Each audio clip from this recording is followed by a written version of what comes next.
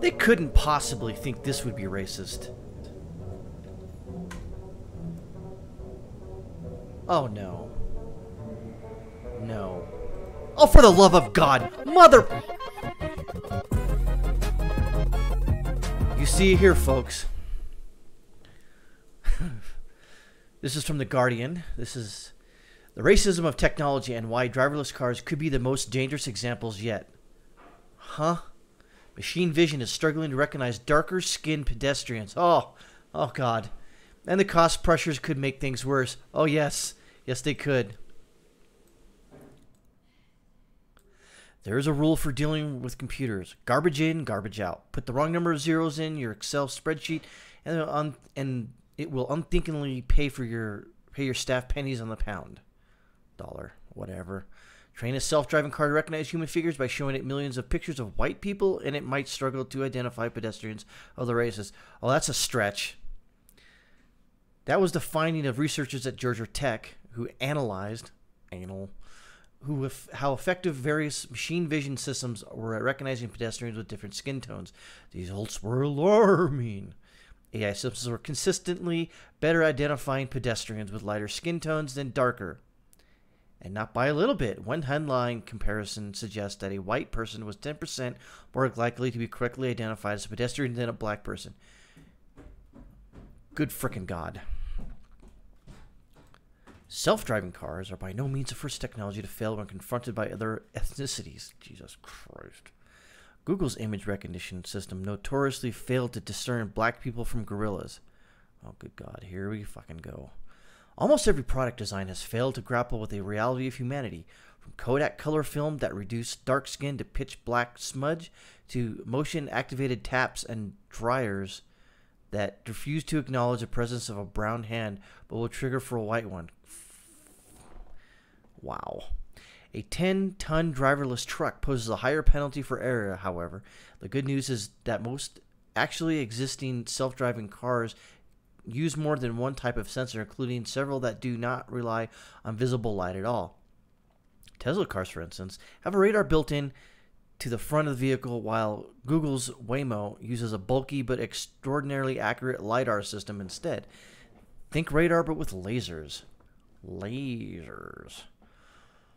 The bad news is that there's a strong market pressure to, to move towards camera only systems based on huge cost savings. Such systems would only hit the streets in large numbers if they proved significantly safer than human drivers. But even then, that raises the important question safer for whom? Not if you're black. These self driving cars will kill you. This is from the Geek. This was that that from the Guardian was five days after this right here. Uh, from the Geek. Study. Even self-driving cars are racist now. Um, even a future where amoral machines seem posed to wipe out everyone, certain groups of already marginalized people are apparently going to suffer even more, e- even earlier. It turns out the problem with the robots isn't the they are cold and unfeeling compared to humanity, it is that their flawed thought process are too similar to the people who make them. That's the really biggest takeaway for me personally after seeing the study of how self driving cars are racially biased against people with darker skin. Bullshit.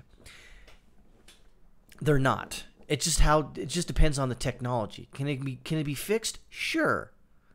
But the problem here now is that everything is racist. Especially cars now that are self-driving.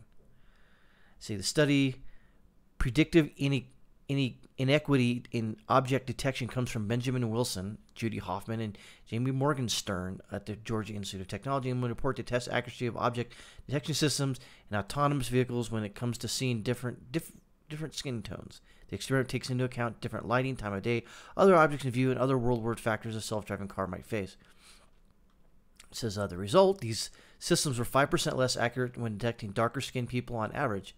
Okay, but is that the technology, or is that some nefarious tech geek that was uh, programming this system? I seriously doubt there was a uh, a racist tech geek. I think it's the technology. If they can send and put a man on the moon with the with the computer technology of a pocket calculator, they can figure this out. Granted, that this doesn't sound much worse, and it, to be brutally honest, it probably is safer compared to how human drivers would fare when looking out for pedestrians of color. What is that supposed to mean? That white drivers are gonna steer into a black crowd? I mean, good, what bullcrap? But it would be really infuriating, infuriating tragedy if that five percent made the difference between being fatally struck by a self-driving car or not just because of the color of your skin. I think these people are biased, obviously. Um, let's see.